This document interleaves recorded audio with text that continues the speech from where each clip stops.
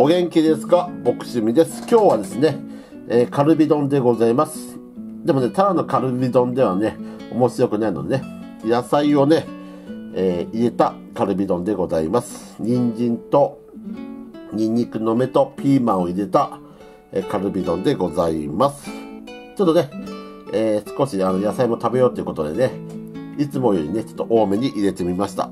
で、右側の方はね、にんこちらもね、えっ、ー、と、人参を入れた卵スープでございます。で、お酒は、え、ウイスキーのスプライト割りでね、えー、いきたいと思います。はい。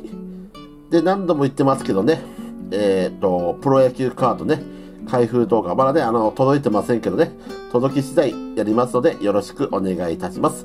で、明日ですね、いや、明日か明後日ですね、えー、また、あの、レトルトカレーの試食動画やりますので、もしよかったらね、そちらもぜひご覧ください。以上でございます。